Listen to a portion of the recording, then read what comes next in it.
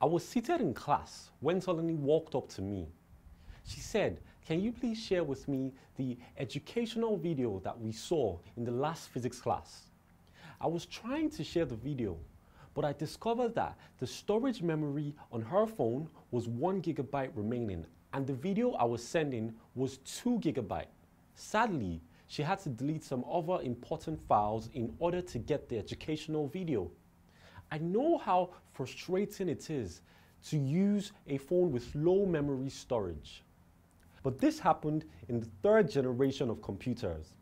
Since the third generation couldn't meet some criteria, the fourth generation of computers was introduced. It uses large-scale integrated circuits, that's LSIC. These computers are called microcomputers. Their size varies from desktop to laptop or palm top. They have a very high speed of processing. They are 100% accurate and reliable. They have a very large storage capacity. The personal computer, PC, that you use in your school is a fourth generation computer.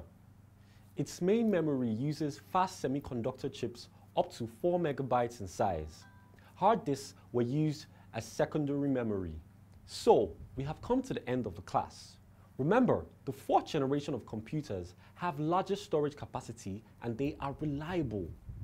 Very large-scale integrated circuits, VLSIC, replaced the LSICs. Thank you for your time. See you in the next lesson.